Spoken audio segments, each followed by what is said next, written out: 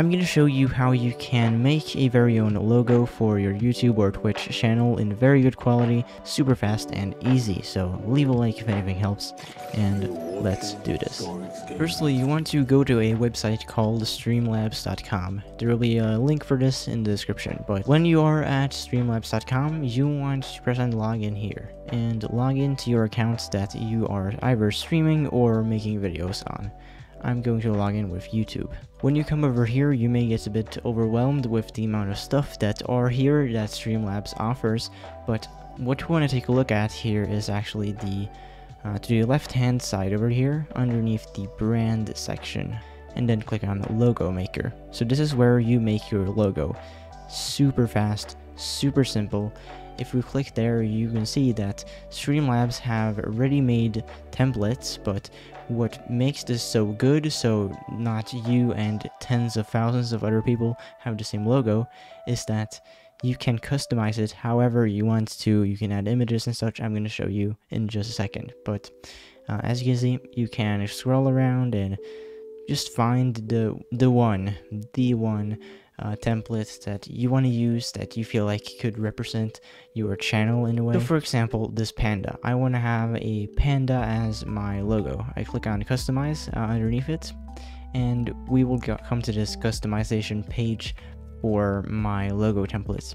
And here you can change a lot of stuff.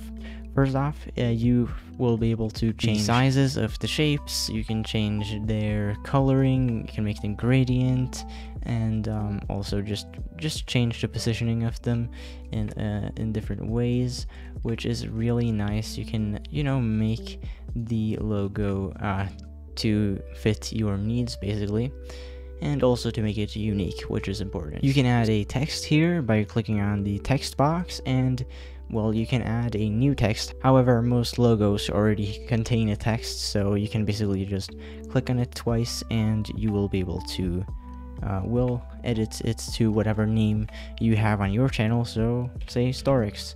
Um, there we go. Now the name is Starix underneath here. And then I will uh, basically resize it slightly to make it fit here with the size of the logo. There we go. That's perfect. Now you can also upload custom images from your computer. So say you have, what do I know? So you, you have an image that you want to add into this uh, logo. So then you click on uploads here and then select uh, select image.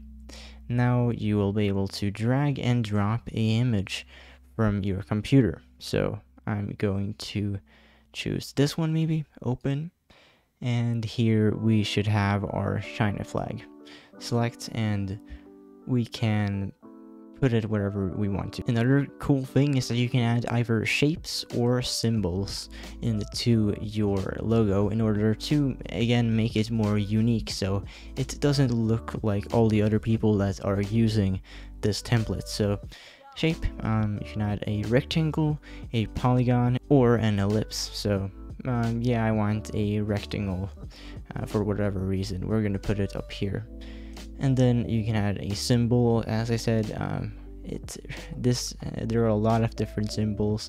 And this you want to think about if it fits your logo. Most of them won't fit in my logo at least but they are nice to have in case you uh, will need any of these symbols. Or maybe I could add some uh, glasses to my panda perhaps. Maybe this will work. Um, maybe make them another color like red. Oh, that works. Okay, that's pretty cool. I feel like this looks pretty good. And so the next step in order to get this on your computer to download this file, this logo to your computer and be basically um, be able to use it, you want to click on the next step uh, or slash and save the next step. And now you will actually get the opportunity to um, basically open a merch store or finding matching theme or download this logo as an emote um, with Streamlabs, just super simple, but that's not what this video is about, so you can try that out in case that's what you want to do. But basically click on download as logo down here and the logo will be downloaded to your computer in a very good quality. As we can see, it is HD quality basically, so no problems with well, the resolution whatsoever. And if you ever want to change anything with your logo down the line, you want to customize it again, then you can actually go to your logo maker and then the your logos section and you will be able to customize it again so by basically clicking on customize and one glitch I've noticed is that if you click on customize you your well your file your logo will be a bit uh, glitchy and some colors might change as we can see the whole logo got changed and it this is nothing you can change really. This is just an, a glitch within Streamlabs. If this happens to you, I would report this problem um, to Streamlabs support, and perhaps they will find a fix for it. So. Do be sure to like the video if you found anything helpful. And with that said, leave your questions in the comment section down below. And see you next video. Starix out.